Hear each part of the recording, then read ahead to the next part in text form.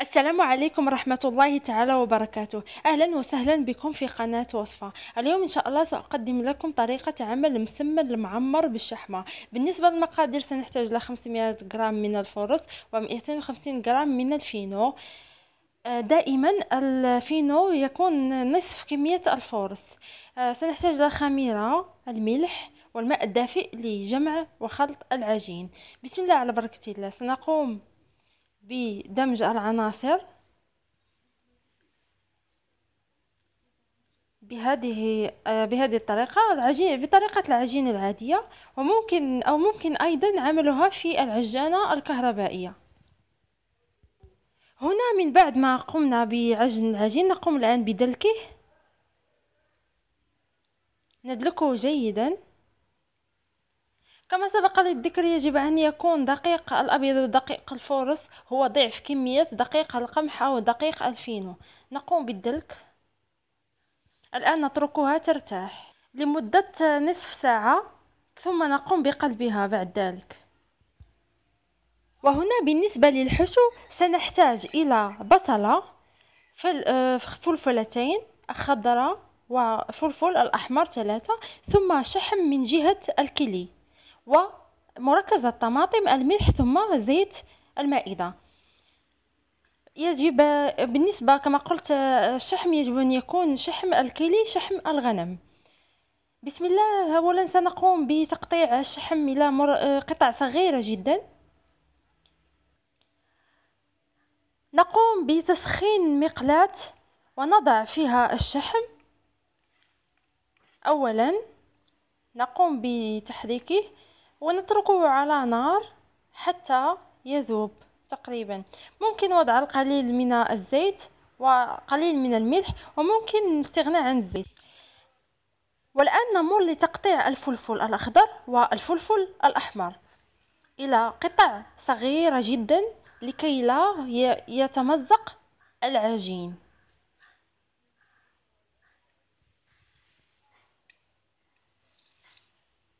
إذا هنا كما نرى هنا بعد ما قمت بتقطيع كامل الكمية. والآن أقوم بتقطيع البصل كذلك إلى مربعات صغيرة جدا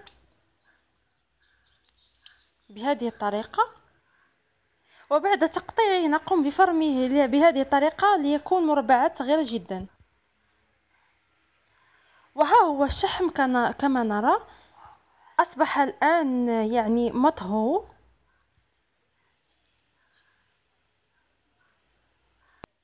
ثم نمر لطهي البصل والفلفل. نضع الفلفل.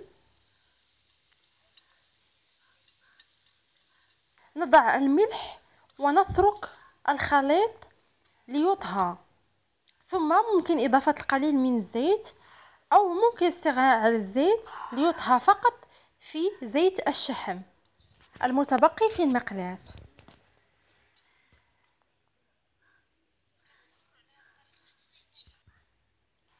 ها هو البصل والفلفل يطهى. ممكن إضافة الزيت عند الحاجة.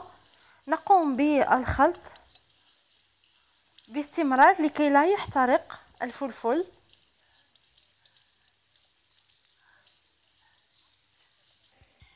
الآن نضيف البصل والفلفل فوق الشحم ونقوم بمزج العناصر. ونبدأ الآن في توريق المسمن. هنا العجين بعد مرور نصف ساعة نقوم بوضعه على شكل كريات صغيرة. بنفس الطريقة إلى أن نكمل باقي العجين. نمر الآن لتوريق المسمن. نقوم بدهن بالزيت ونبسط الكرية المسمنة بشكل دائري. بهذا الشكل وعلى هذا النحو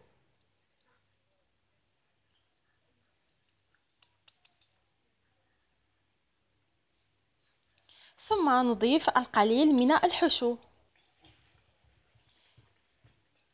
نقوم بدهن الكرية بالقليل من معجون الطماطم.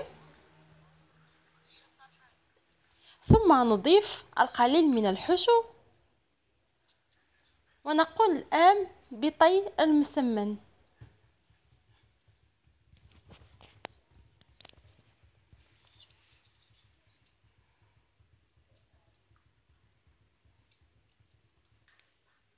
الآن نمر لبسط مربع المسمنة. ونضع في مقلاة ليطهى. مقلاة ساخنة من قبل نرشها بالقليل من الزيت ثم نقوم بطهيه.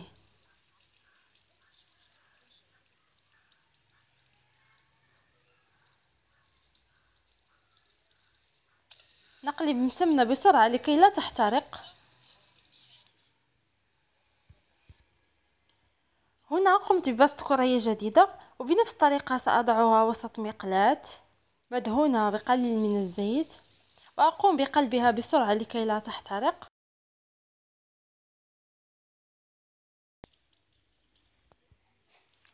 إذا ها هو الشكل النهائي للمسمن. أتمنى أن تنالوا وصفة اليوم إعجابكم. لا تنسوا المشاركة في القناة للتوصل بالجديد. إلى وصفة أخرى إن شاء الله. والسلام عليكم ورحمة الله تعالى وبركاته.